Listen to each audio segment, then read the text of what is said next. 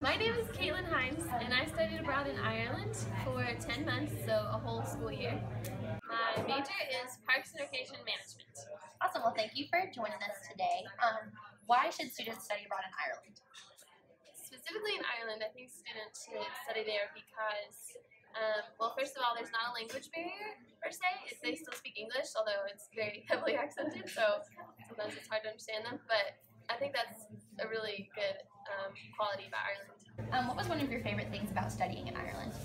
Um, one of my favorite parts about studying in Ireland was just to experience how another culture does school.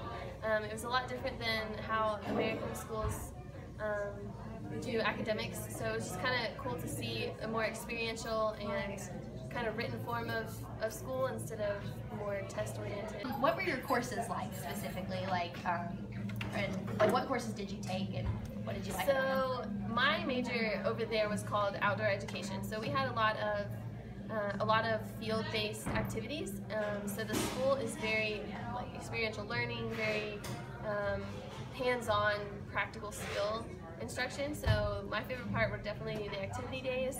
Um, uh, in Ireland, the the culture is very like very, they cater to their tourism economy, so there's a lot of guiding and instruction that happens there. So as an outdoor education major, um, Parks and Rec major, with a concentration in outdoor leadership, it was really good to have that hands-on experience. What did you like about the culture? Did you get to go out in the cities and all that kind of stuff? Yes, uh, the culture is a lot different. Um, I like to explain Irish culture is a lot more um, relaxed.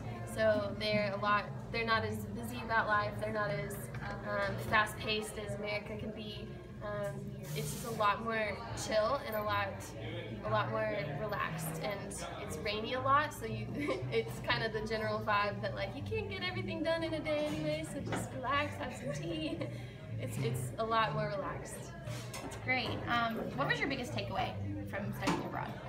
I think my biggest takeaway was just that um, just different places are gonna have their own set of ways of doing things. Like even even though Ireland may not seem as culturally different than America because the language is the same, there's still so many things that are different about their way of life and about how they think and um, how they process.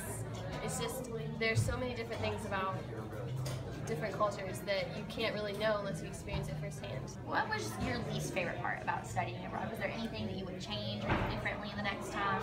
I think my least favorite part was just not knowing what to expect and then not knowing like how to prepare for it. You kind of go in head first and there's no way to really prepare for knowing what to bring or what to, you know, what to expect. But in the end, that makes it good because then, you know, if you go in with expectations, then you may be disappointed or, or um, you know, it may not go your way. So I think going, being forced to go in without expectations is, while it can be negative and scary, it ends up being a positive.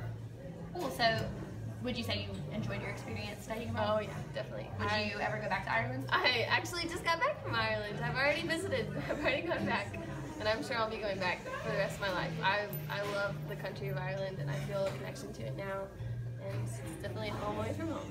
Cool. So um, as we wrap this up, is there any advice you would give to students that are wanting to study abroad? My advice would definitely be that um, you just gotta go and you just gotta experience it. Uh, have an open mind when you go, and like I said, don't have expectations because uh, the more you let yourself be um, be willing to adapt to the culture, then the more you'll really be immersed and really get to experience another side of life. Um, but I'll also say that it's important to stay true to yourself and know who you are and who you're going, who, who you are when you go, and then bring your own, you know, personality to that culture and um, and just meet people along the way that have things in common and learn from others and just go, just do it.